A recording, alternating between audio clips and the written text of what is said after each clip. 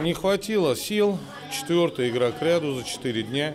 Перерыв между играми меньше 16 часов.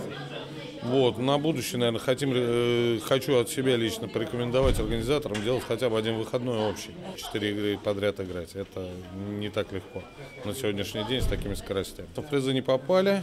Вот, это первоочередная задача, скажем так, это результат. А то, что мы просмотрели перед чемпионатом мира э, тех кандидатов, в которых мы хотели убедиться или же просмотреть, безусловно, очень плодотворно вот эту задачу мы выполним. Мы должны были выступить лучше, намного лучше, чем сейчас.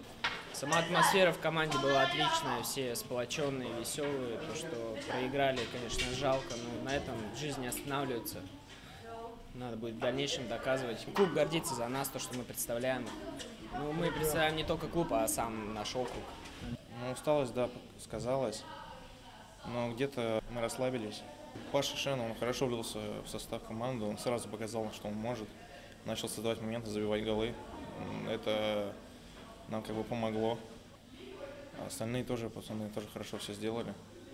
В некоторых моментах, конечно, не получалось, но ничего, опыт придет. Ничего хорошего в том, что мы проиграли, нету. Но раскисать не стоит. Надо дальше тренироваться, доказывать, что ты достоин играть в сборной. Надо готовиться к чемпионату мира.